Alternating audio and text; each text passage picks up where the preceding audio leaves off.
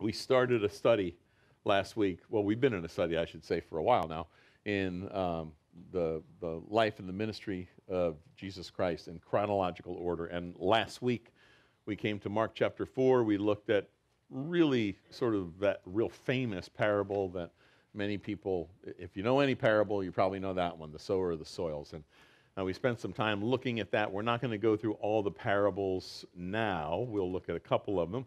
Um, we're going to do some today, and then we'll skip, do some other things, and interject certain parables as they apply. But um, and and one of the things that, if you recall, you know, we, we've got four different soils. A lot of people call it the parable of the sower, but it's really the parable of the soils, and the soils represent, you know, four different people, four different hearts.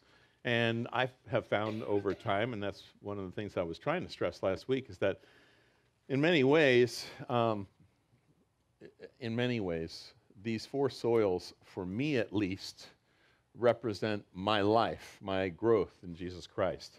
And, and, and where we left it last week was this, this point about how God really does call us, as he says in Hosea, to break up the fallow ground, that hard ground, to break up that fallow ground, and to, it, he says it's time to seek the Lord. And it is time to seek the Lord. It always is time to seek the Lord, but it is time to seek the Lord. In the days that we live, there's no question about that. And we're going to we're going to kind of follow up you know from that parable on today. So if you would grab your Bibles, Mark chapter 4 is where we're going to be. And um, if you would open them, open your Bibles or someone's Bible, and then take a stand and let's let's read together, okay? Beginning in verse 21, Jesus says, Is a lamp brought to be put under a basket or under a bed? Is it not to be set on a lampstand? For there is nothing hidden which will not be revealed, nor has anything been kept secret, but that it should come to light. If anyone has ears to hear, let him hear. And then he said to them, Take heed what you hear. With the same measure you use, it will be measured to you, and to you who hear, more will be given. For whoever has, to him more will be given. But whoever does not have, even what he has will be taken from him. And he said, The kingdom of God is as, if, is as if a man should scatter seed on the ground, and should sleep by night and rise by day, and the seed should sprout and grow. He himself does not know how. For the earth yields crops by itself first the blade, then the head, after that the full grain in the head. But when the grain ripens, immediately he puts in the sickle because the harvest has come. And then he said, To what shall we liken the kingdom of God, or with what parable shall we picture it? It's like a mustard seed, which, when it is sown in the ground, is smaller than all the seeds on earth. But when it is sown, it grows up and becomes greater than all the herbs and shoots out large branches so that the trees, oh, excuse me, so that the birds of the air may nest under its shade. And with many such parables, he spoke the word to them as they were able to hear it, but without a parable, he did not speak to them. And when they were alone, he explained all things to his disciples. Father, we, we thank you, Lord, that you have entrusted us with your word. We thank you, Lord, for this great salvation that you've given us in Jesus, Lord that you would give everything to us, Lord, that you would have given everything to come in the form of a man, to, to be slain, to take all of the punishment that we deserve upon yourself because of how much you loved us, Lord. There, there's no greater expense that you could have ever paid, but you've done that, Lord. And, and we do come here this morning. We, we stand here, we read your word, we're, we're astounded by your word. In some ways, it's very familiar to many of us. For others, it may not be. But we're all the same in one regard, Lord. We come here with things going on in our lives. we sing that we cry out for your hand of mercy to heal us, Lord. We, we long for your touch. We cry out, Lord, and we know that you are there, that you are the one who sustains us, that you're our rock, and we cling to you. Teach us from your word, Lord. Teach us to having broken up and continuing to, to break up this fallow ground, Lord, to, to do what you desire to do in our lives, Lord, to, to continue this work of, of personal renewal in each one of our lives. We don't want to be like anybody else except like you. We don't want to be like anybody else except like Jesus. And so, Lord, we stand here this morning thankful for your word. Now teach us, Lord. In Jesus' name, amen. Amen. amen. Have a seat, please. I really do think that the parable of the soils is, like I said, uh, it's a great yardstick for our walk. You know, you can look at a lot of different ways, but it is a yardstick for our walk, at least for mine, because I've been through every single soil. And the third and the fourth I keep bouncing between, you know. Uh, but uh, I, it, it is. It's important. And we, we looked at this matter last week of breaking up the fallow ground. In many ways, Jesus is now talking about how the kingdom of God advances, which is probably different than what we think. He's, he's teaching about how the kingdom of God is going to advance and how it advances for, for his own disciples and, and the apostles, for all who will follow. And he says, now I've just read it, but I'm going to read it again um, in, there in verse 21. He asks, Is a lamp brought to be put under a basket or under a bed? Isn't it set to be put on a lampstand? But there's nothing hidden which will not be revealed, nor has anything been kept secret, but that it should come to light. If anyone has ears to hear, let him hear.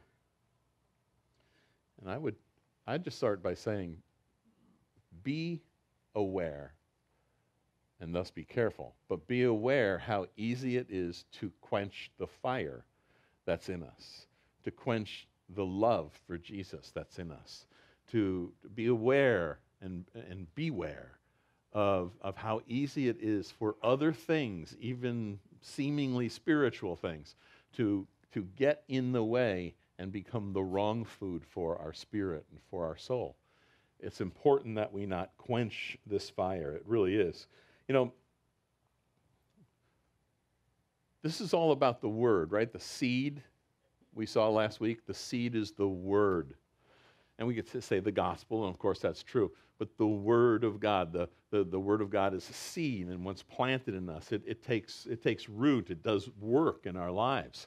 And, and as familiar as the passage may be to you, or ought to be to us, you know, in Hebrews chapter 4, verse 12, very clear description there of what the Word of God is, that the Word of God is alive. It's not just ink on a piece of paper or on your device. Um, I never know how to, how even talk about that. But anyhow, it's not ink on a piece of paper. It's alive. The Word of God is alive. It's powerful. It's full of power and, and that it's sharper than a double edged sword. And it's, it's sufficient so to divide between soul and spirit and joint and marrow. And it, it discerns the thoughts and the attitudes of our heart. I mean, that, that, that's a mind blower to me, always has been a mind blower to me, because I know that for many of us, even in here today, we probably consider the soul and the spirit very often as one and the same, and yet the, the Word of God is very clear that they're not the same. So the soul is like the operating system of the body, but the spirit, we were born with a dead spirit. We were born again. Our spirit came alive when we came to Christ, right? So the Word of God alone can divide between them. And, and the Word of God discerns the thoughts and the attitudes of the heart. He goes on to say in verse 13 that everything is naked and open before the one with whom we have to do. God knows everything about our lives.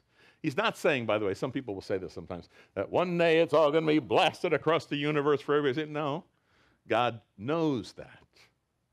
He knows all these things, and, and He discerns the thoughts and the attitudes of our hearts. And, and He wants to speak to us, and He wants to use His word to, to get there and to, and, and to do that work in our lives. There's so many scriptures that you'll find but, you know, 1 Thessalonians chapter 5, at the end there, Paul lists, he just keeps listing, listing, listing. He says, you know, pray continually. Do not quench the spirit or do not quench the spirit's fire. He says, Um, he says, don't despise prophesying. He says, avoid every appearance of evil. These are important things God tells us to do in, in terms of how we walk and how we live. And in the first century and in the 21st century, this is how we're to live. And in, in Ephesians 4:30, he says there, "And do not grieve the Holy Spirit, by whom you were sealed for the day of redemption." Think about that. Do not grieve the Holy Spirit. What is it? What happens when you grieve? Have you ever thought about grief? What happens when you grieve? You're, I mean, to say sad is, is, is, is a cheap word, but it's, it's great sadness. So God is deeply saddened, deeply grieved when we, when we go in opposition to what His Holy Spirit in us wants us to do. So there's a, there's a way that we're to walk here, there's a way that we're to live. And and I guess the question is what's the word worth to you, to each one of us? That's a question I believe that each one of us has to, to ask because uh, I know that there is a, you know, a, a, real lack of reading the Word of God in, in the church of Jesus Christ at large today. There's a lack of reading of the Word of God. We like, you know, Christian slogans and, and things like that, but a lack of, you know, consistent reading in, in the Word of God. And you know, he says right here in verse 24, he says, Take heed what you hear. By the way, I, I, I didn't say it last week, but um, if, if, you think about this, when we were going through our Genesis study, well, we're in our Genesis study, by the way. This week, um, we're going to get buoy wooey. We're going to be in chapter six, the days before the flood, so I think you'll find that interesting. Um, but, but we were in chapter three a couple weeks ago. And what happens in chapter three?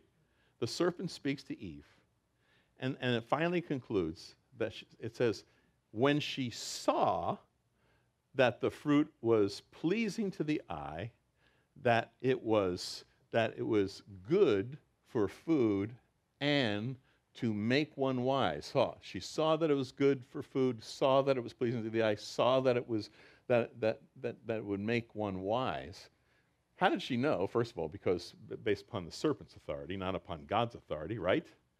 When you start to study it, and I, I don't want to say this is an absolute hard line, but it's very interesting when we are seeing, when the scripture talks about seeing, that's where we're getting into trouble. The lust of the eyes, the lust of the flesh, the pride of life. You know, when, when we hear about hearing, faith comes by hearing the words of God. He who has ears to hear, let him hear what the Spirit is saying to the churches. And it's something that's repeated over and over and over again. I mean, even just this, you know, what we see. Oh, really?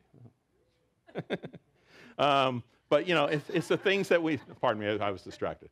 Um, no, it's the things that we see that get in our way.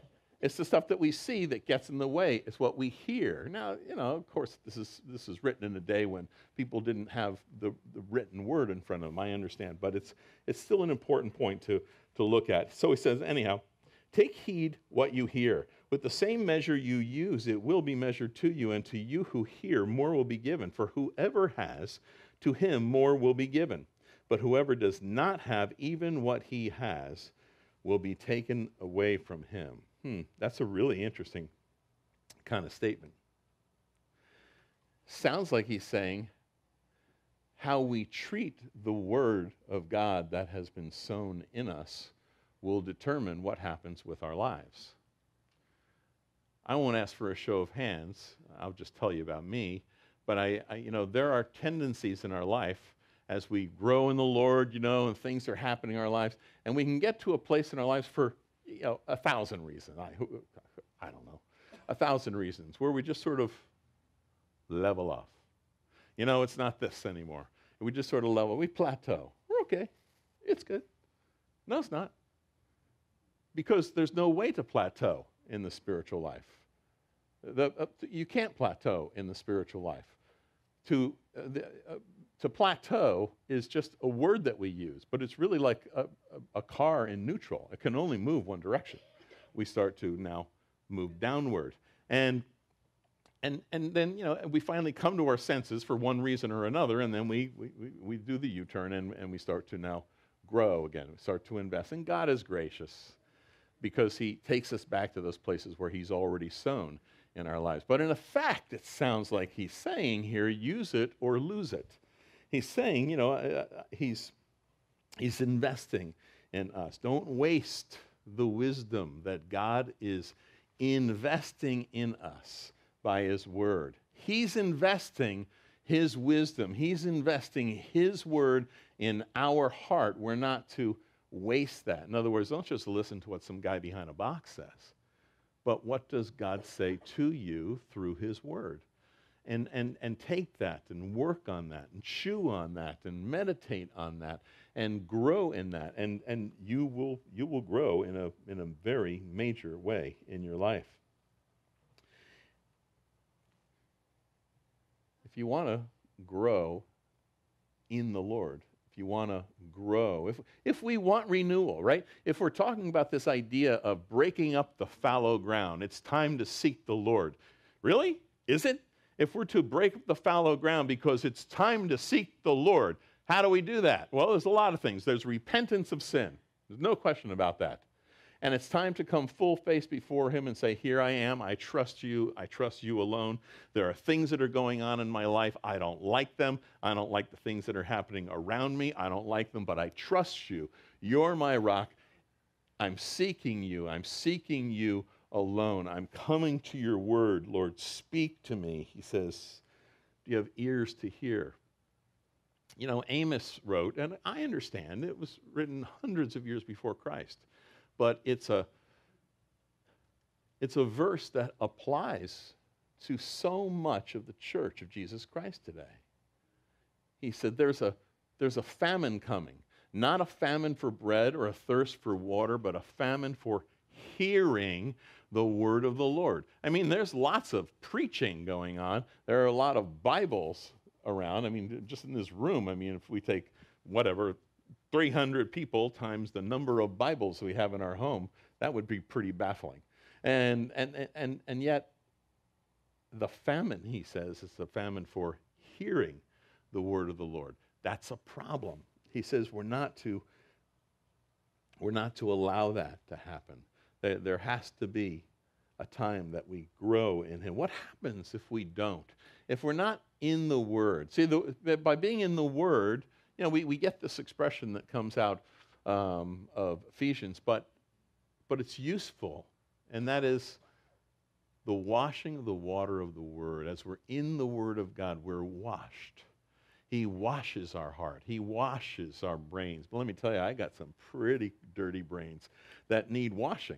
And, and you can look at me all you want that face because I know you do too. I'm in good company here.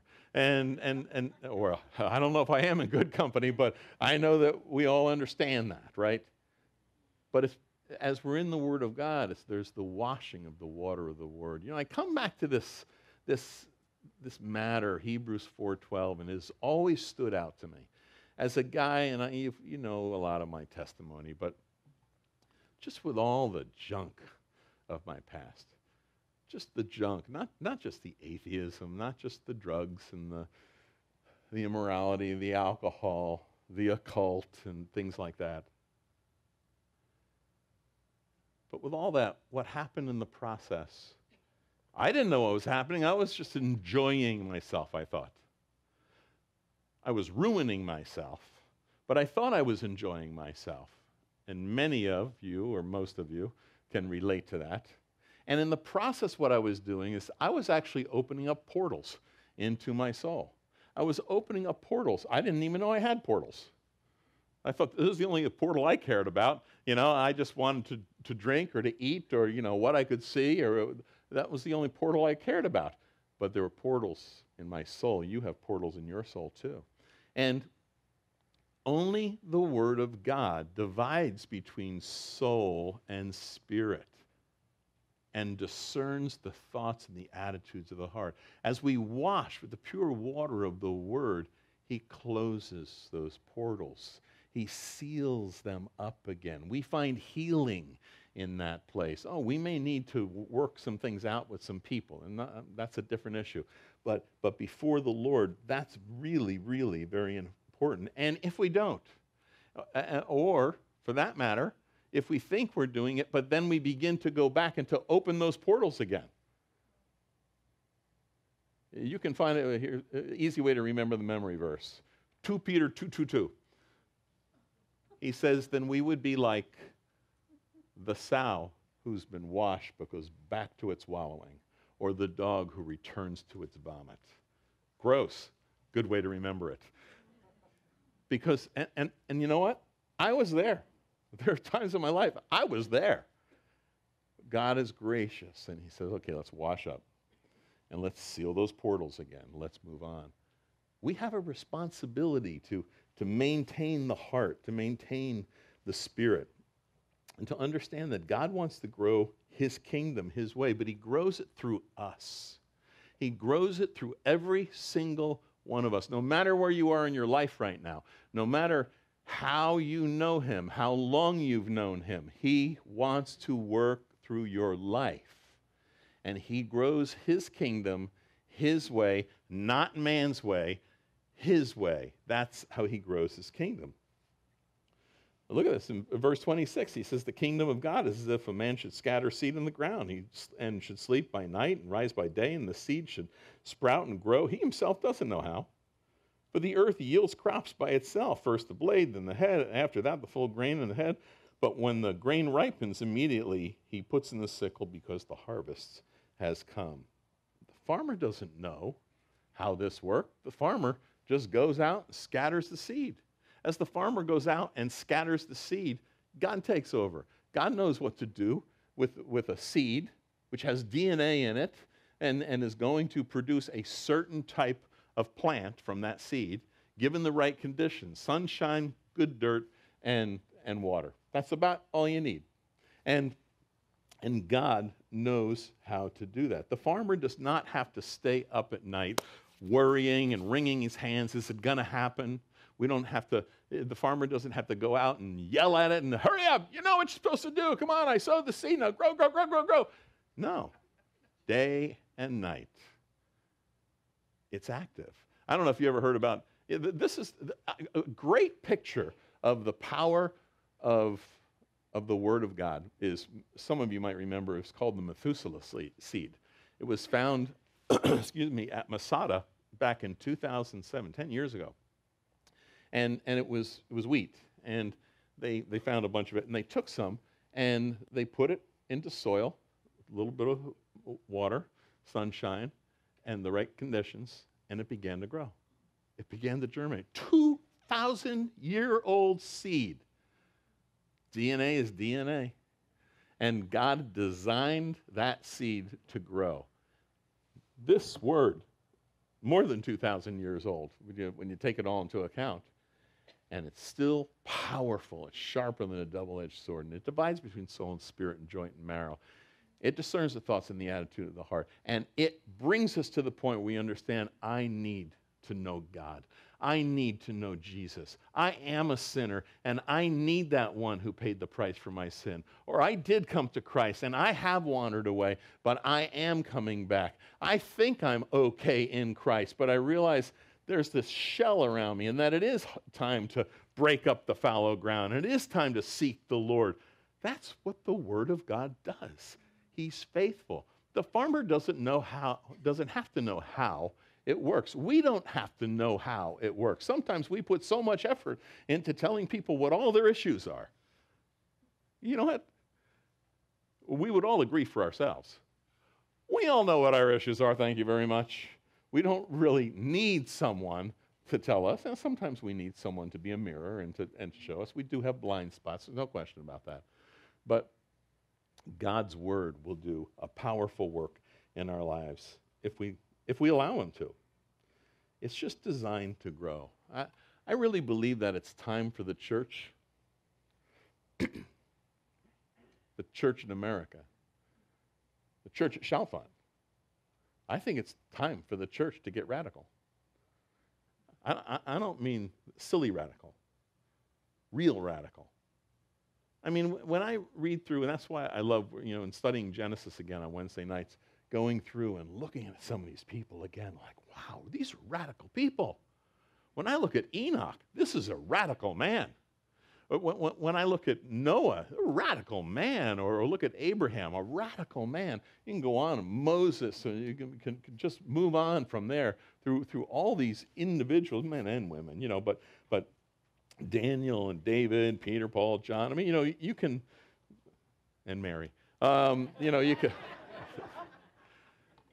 you can, you can look at these. These are radical people. Why are they radical people? Because they're just regular people. That's all they are. Is in one sense, all they are is regular people. I'm not taking anything away from them, but they're just as regular as every single one of us in this room. But they knew God.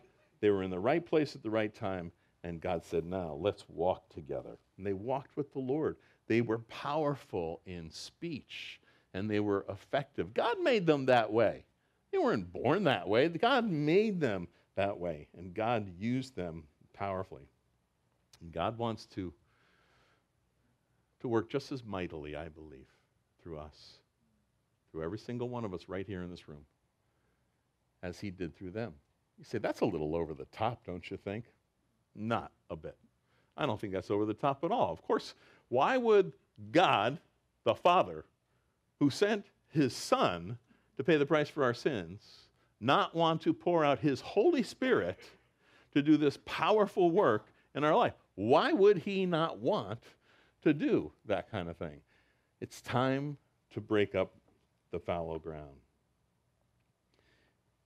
It's simple in one sense, and it's steady. The farmer doesn't know how it works. He just knows that a stalk comes up and a leaf comes up and then the head and then the full the full head, the fourth soil. Fruit is born. God wants to do that. It's time to break up the fallow ground. You know, I, I got, just got to tell you, I, uh, some of you know I have some issues. Some of you know, yeah, he's got a lot of issues. I've, heard, I've been listening to you for a while. You got issues not those issues. I have some physical issues.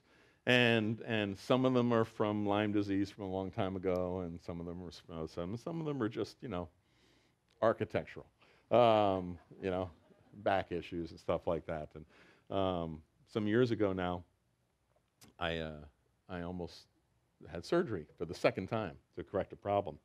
And, you know, I always try to make sure that I walk up here you know, without limping or something like that, because otherwise people, and, and I appreciate it, but people will say, what's wrong? What's going on? How you doing? I know a doctor. I know a chiropractor. You need some noni juice. You need this, this, that, you know, and there's all sorts of things that people will suggest.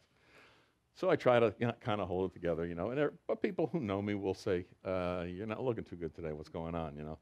And um, so sometimes I'll share a little bit, and um, don't feel like you have to come and ask me all these questions now. Okay, I'm just I'm just telling you.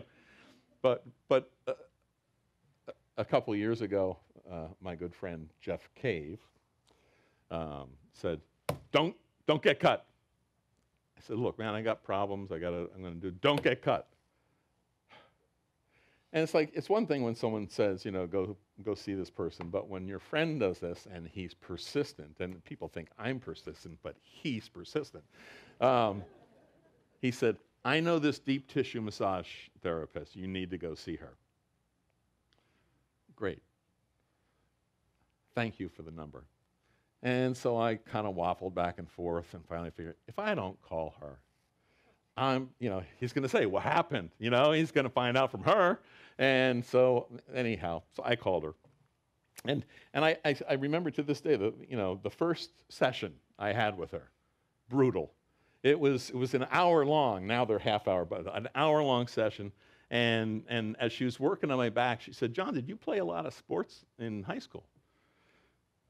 Well, no, we didn't have a football team, you know, and I was more like a backpacker skier, that kind of thing. She said, Those are sports. You realize that, right? I said, Well, yeah, I'm just saying I wasn't like a group team kind of guy, you know. And she goes, Did you fall down a lot? That's very funny, but when someone's got their elbow in your back, and um, why? She said, This is the bumpiest road back here. You have so much scar tissue in, throughout your back. I, this is going to be a while before I can work this out. Terrific. Thanks, Jeff. And, um, but she's actually done a, a lot of, she's given me a lot of help. And Because she's breaking up the fallow ground. That's really what she's doing. And breaking up that scar tissue, she's breaking up the fallow ground. And so then I have more range of motion. I have, the, anyhow, I'm not going to get this. It's really not about me. But my point is, it's the breaking up of the fallow ground. There's something, you know, when the, when the sower sows, when the farmer sows, he doesn't know how it's going to work. He doesn't know how, how the, the seed is going to germinate, and, and he just knows that it will. He can predict that it will with the right conditions. Years ago, 1993, there was a woman that Renee and I knew who got saved. Her name is Joyce. She's now in heaven. And, um, and, and she got saved in our family room. And then the question was, well, what do we do now? Some of you know this story. And um, it's like, um, I don't know, uh, we'll disciple you. Okay, how do we do that? Well, I don't know. Come back here next Thursday. And so I didn't know what to use, so I just opened the Romans, easy book. And, and so started going through Romans and, and, you know, explaining things. She brought a friend, and then someone else heard about it, thought we were leading a Bible study, and said, not really, it's we're discipling, blah, blah, blah. Anyhow, this, over a matter of months, grew. It grew. And we're like, wow, how's that happen? It's the Word of God. It's the Word of God.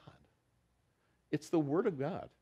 And that, of course, you know, over the years, we, we went into um, a library on Thursday nights, and then eventually, for a couple of interesting reasons, we ended up, you know, in the, in the barn, 30 people, and then multiple services here in the, the shopping center. We don't know how.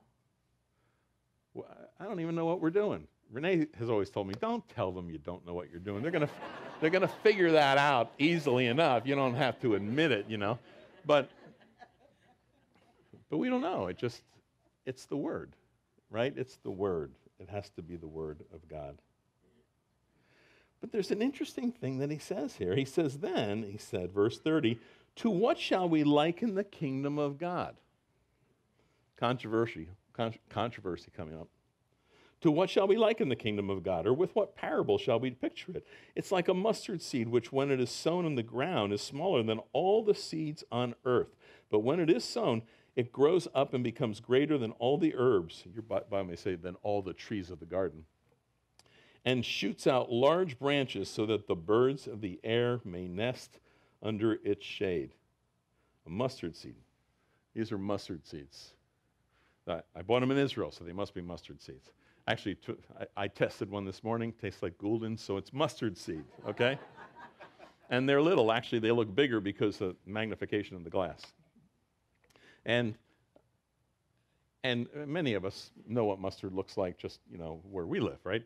But if you go to Israel, it's no different, by the way, in Israel than it is around here. The average mustard plant is not growing more than three feet, maybe four. The, the stalk is about three eighths of an inch, maybe a half an inch. And, and the branches are as flimsy as flimsy gets.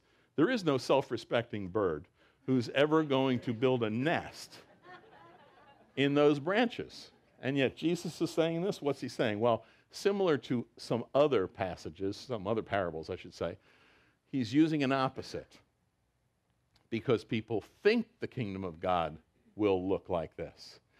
The magic decoder ring for you is this. The reason we began with the sower and the soils last week is that in it he describes the four different soils and he says that as the sower sows his seed, when it, the seed that falls on the hard ground, on the hard soil, on the path, the birds of the air come and pick it up, eat it, and fly away. Never has a chance to germinate, to take root, or anything like that. And then later on, he explains it. Do you not understand this? In fact, he says, verse 13, he says, do you not understand this parable? How then will you understand all the parables? Oh, so it sounds like it's the Rosetta Stone, the, the, the, the, magic decoder ring. And he goes on to explain that Satan comes. The birds of the air are Satan, or in Matthew, I think they're called the workers of iniquity, come and snatch the word. Wait a minute.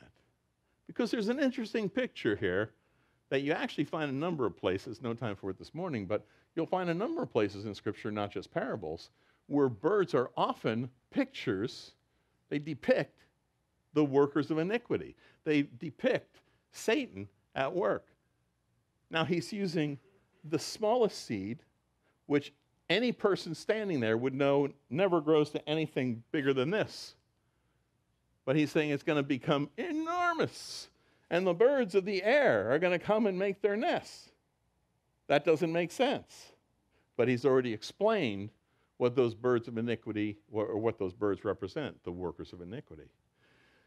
We live in a day and age where we see what has happened, not just in the, the 20th and the 21st century, but for, for centuries we've seen it happen, that what people call the kingdom of God became megalith, megalithic in terms of their size and all these offices, and they became melded with the government and they controlled everything that happened on planet Earth. He's saying that's not the kingdom of God. That's really what he's saying. That's not the kingdom of God. And, and there, there are all different types of forms of this that go on all the time. I, I'm the oldest guy, they call me the senior pastor. And so um, I get these emails that will, will suggest you know, certain um, conferences that I should go to. And part of the code, you can usually break the code, figure out, they said, you know, kingdom building conference. Oh. Um, and, and uh, I always wanted to check them out, except that they're in places like San Diego or they're in Tucson or something. It's like, I can't afford to go there. And, and so I never get a chance to. But it's not worthwhile because they're, they're telling you this is how you speak and this is, this is how you present the word and this is the kind of music you use and you never use this kind of music and, and these are the smoke machines that you buy in and these are and i know there's, there's good churches use smoke machines i'm just saying you know there's so much theatric that has happened in the church. And keep it, keep it soft. Don't let people uh, be confronted with the reality of their own sin. And never, ever, ever use the word sin. Don't say sin. People don't like when you say sin, especially when you when you point and and say we're all sinners, right? People don't like that. Well, how do you preach Christ if you don't talk about sin? What's the purpose? Why, why, did Jesus come? To pay the price for our sin, to pay the penalty for my sin, to defeat the power of sin, and one day to eliminate the, us, eliminate the presence of sin from us. There are so many things that, that are told us, and it's all about I guess I'd call it, they call it kingdom building. It's really empire building.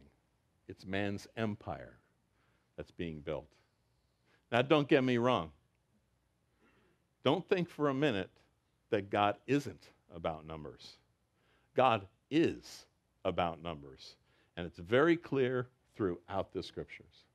God is absolutely about numbers more than any man, any group of men or women who are trying to build an empire. God is all about numbers. Go into all the world and preach the gospel to every creature, right? That's, that, that's about numbers. That's everybody. God is not desiring that any would perish, but that all, little word means a lot. Not, God is not desiring that any would perish, but that all would come to salvation. God is very much about the numbers. Man is looking for numbers. Man is looking for dollars. Man is looking for power. God is looking for saved men and women. That's what he's after. That's his kingdom. And his kingdom is filling. His kingdom is filling. Sad to say, at a slower rate than hell. Because people reject the truth. Or they never hear it.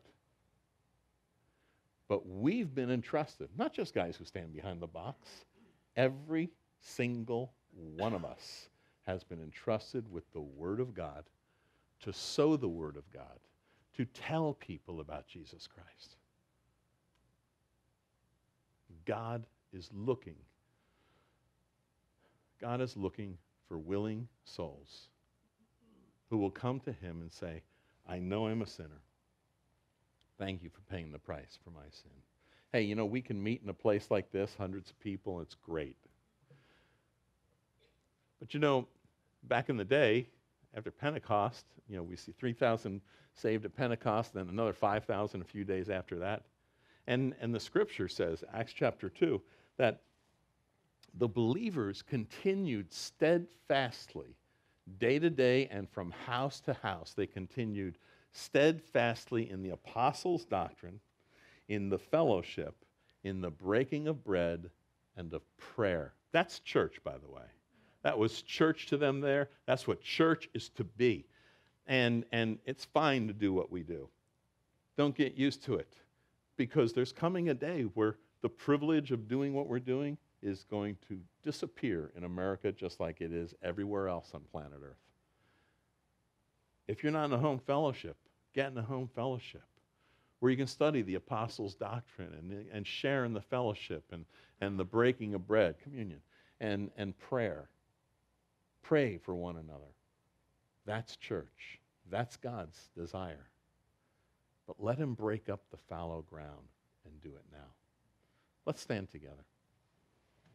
So, Lord, we ask that you would do that, Lord. We, uh, we come to you. We don't have anything here to offer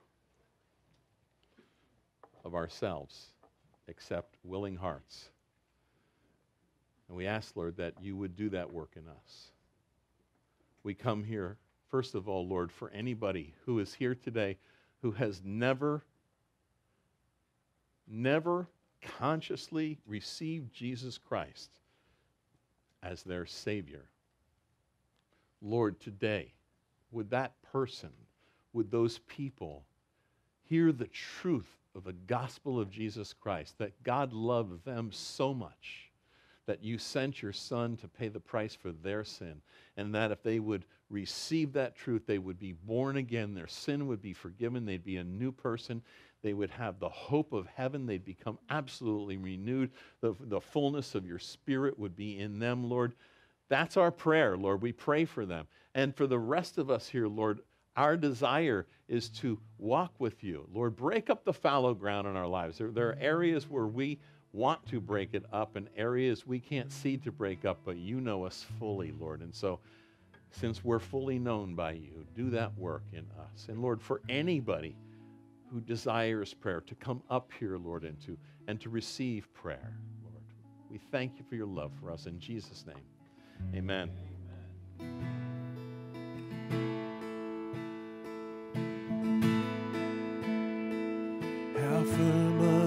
foundation, saints of the Lord, is laid for your faith in his excellent word. What more can he say than to you he has said? To you who for refuge to Jesus have fled.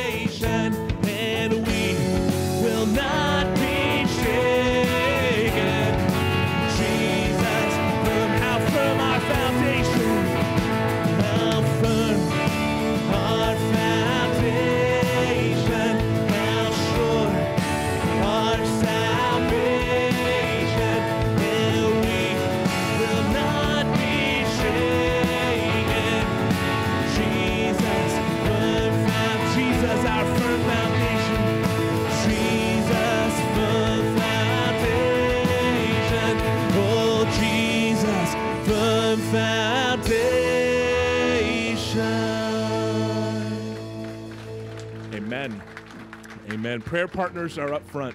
God bless you all.